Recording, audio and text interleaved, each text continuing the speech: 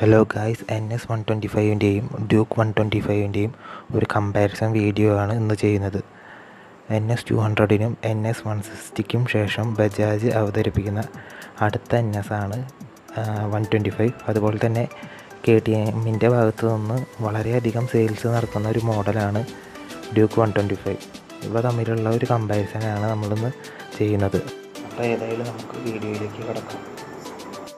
ബജാജിന് one twenty five സെഗ്മെന്റിൽ already ഒരു stylish ആയിട്ടുള്ള വണ്ടി ഉണ്ട് പൾസർ വൺ ട്വന്റി ഫൈവ് അതുകൂടാതെയാണ് ഇതുപോലെയുള്ള ഒരു കിടില വാഹനമായിട്ട് ബജാജ് വന്നിട്ടുള്ളത്. ഡ്യൂക്ക് വൺ ട്വന്റി ഫൈവിന്റെ ഏറ്റവും വലിയ എതിരാളി ഇനി മുതൽ N S one twenty five തന്നെയായിരിക്കും. നമ്മൾ പറയാൻ വിട്ടുപോകുന്ന പല കാര്യങ്ങളും വീഡിയോയിൽ ആഡ് ചെയ്യുന്നുണ്ട്. അതുകൊണ്ട് എല്ലാവരും വീഡിയോ മുഴുവനായിട്ട് കാണുക. പ്രൈസിനെ പറ്റി തന്നെ നമുക്ക് ആദ്യം പറയാം. ഒരു ലക്ഷത്തി എഴുപത്താറായിരം രൂപയാണ് Duke one twenty ഫൈവിന്റെ on road price N S one twenty ഫൈവിന്റെ on road price ഏകദേശം ഒരു ലക്ഷത്തി മൂവായിരം ആ റേഞ്ചിലാവാനാണ് സാധ്യത. One twenty four point seven C C four valve liquid cooled എഞ്ചിനാണ് ഡ്യൂക്ക് വൺ ട്വന്റി ഫൈവിൽ വന്നിട്ടുള്ളത്.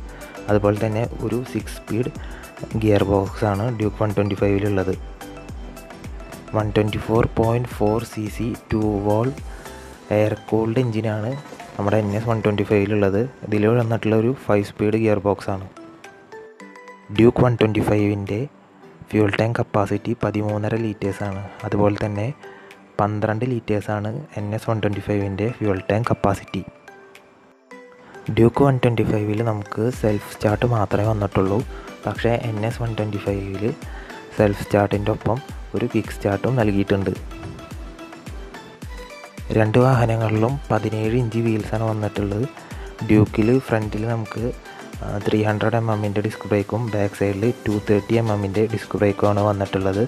എൻ എസ് വൺ ട്വന്റി ഫൈവിന്റെ ഫ്രണ്ടിൽ ടു ഫോർട്ടി എം എമ്മിന്റെ ഡിസ്ക് ബ്രേക്കും ബാക്കിൽ വൺ തേർട്ടി എം എമ്മിന്റെ ഡിസ്ക് ബ്രേക്കുമാണ് വന്നിട്ടുള്ളത്. ഡ്യൂക്കിന്റെ ഫ്രണ്ടിൽ one ten bar seventy R seventy ടയേഴ്സും ബാക്കിൽ one fifty bar sixty R seventy ടയേഴ്സാണ് വന്നിട്ടുള്ളത്.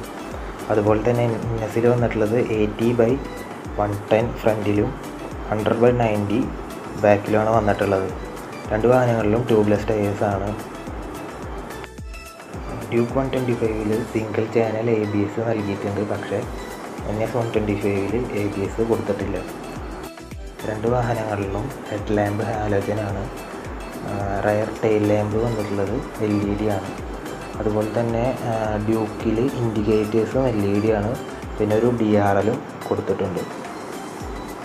ഡ്യൂക്കിന് വൺ ഫിഫ്റ്റി ഫൈവ് എം എമ്മും എൻ എസിന് വൺ സെവന്റി നയൻ എം എമ്മും ആണ് ഗ്രൗണ്ട് ക്ലിയറൻസ് വന്നിട്ടുള്ളത്.